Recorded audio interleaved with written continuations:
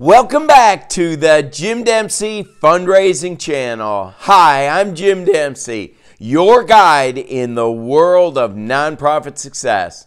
Today, we're delving into a topic that can significantly impact your organization's financial health asset giving strategies to employ at year end. As a nonprofit leader, you understand the importance of diversifying your funding sources. Beyond traditional gifts, leveraging assets can be a game changer. So grab your notepads because I'm about to share the top five strategies that can make a real difference for your organization as the year draws to a close.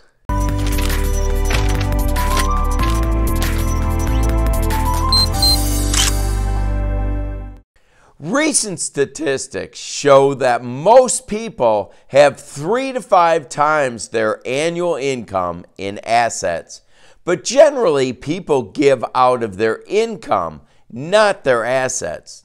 Today we're going to address the topic of increasing asset giving at year end.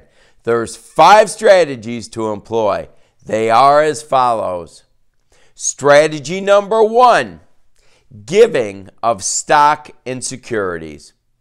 One powerful way to boost your nonprofit's resources is by encouraging stock and security donations. Many donors might not realize that giving appreciated stock can provide significant tax advantages. By gifting stocks directly can avoid capital gains tax and potentially receive a deduction for the full market value of the asset. As a nonprofit leader, it's crucial to educate your donors about this option. Make the process seamless by partnering with a brokerage firm experienced in charitable giving. Clear communication and guidance are key to ensuring your donors understand the impact of their stock gift. Strategy number two giving of real estate. Real estate gifts are another valuable avenue to explore. Our partners or donors might own property that they no longer need or want. Encourage them to consider gifting real estate to your organization. This could be residential, commercial, or undeveloped land. The process involves a thorough appraisal, legal work, and potentially environmental assessments. While it's a more complex process than a typical gift or donation, the gifts can be substantial. Once the property is sold, your organization receives the proceeds, which can fund your initiative significantly.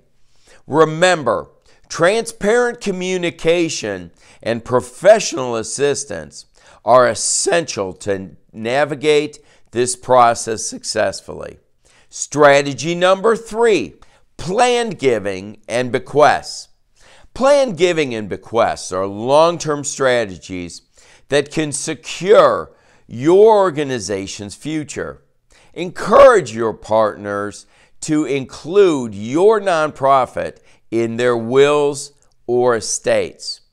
This thoughtful gesture allows them to leave a legacy while providing essential resources to your cause. Building relationships with your donors or partners and discussing their long term intentions can lead to these substantial gifts. Be transparent about how their planned giving will be utilized and offer options such as endowments or specific program funding. Providing sample bequest language and working closely with legal professionals experienced in nonprofit law can facilitate this process. Strategy number four in kind gifts. In kind gifts, such as goods or services, can be incredibly impactful. Consider partnering with local businesses or individuals who can donate goods relevant to your organization's mission. For example, If you're a nonprofit focusing on education, receiving a donation of books or school supplies can significantly benefit your programs. Similarly, services like legal advice, marketing, or IT support, if donated, can save your organization substantial costs. Acknowledge these donors publicly, showcasing their generosity and the impact their in kind donations make on your initiatives. Strategy number five establishing and giving to donor advised funds. Donor advised funds, or DAFs, are a popular way for individuals to manage their charitable giving. Encourage your partners to consider creating a DAF if they haven't already. DAFs allow donors to make a charitable gift, receive an immediate tax benefit, and then recommend grants from the fund over time. Cultivate relationship with DAF holders, providing them with compelling reasons to recommend grants to your organization. Show them the impact their grants can make, ensuring they feel connected to the projects they're supporting. Utilize social media, newsletters, and personalized communication to keep DAF donors engaged and informed about your organization's work. And there you have it the top five asset giving strategies to employ at year end if you're a nonprofit leader. By diversifying your funding sources through these avenues, you not only enhance your organization's financial stability, but also create a strong foundation for future growth.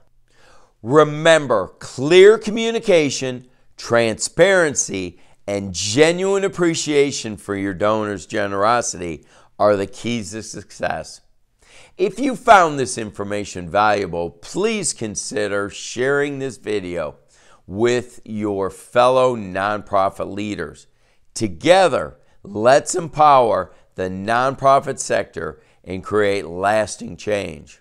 I hope you found this video helpful. If you did, let me know by giving it a thumbs up and leave a comment below if there were things that you especially liked or if there are topics you'd like to address.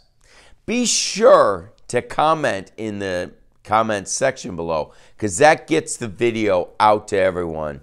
And let this community of life changers know that you're a part of making a difference in our world. If you wish to watch future videos on this channel, hit the subscribe button and click the bell to be notified immediately of the release of the next video. If you wish to follow me on Instagram, go to at Jim W. Dempsey or if you have questions, go to fundraisingmasterminds.net forward slash Jim and Java. If you wish to be part of a community of like minded leaders, join our Life Changers group on Facebook. If you want to know what to do and what to say on an appointment with a major donor, watch this video and take your development efforts to the next level. As always, I wish you the best as you strive to become fully funded. Thanks a lot. Have a great new year and see you in the next video.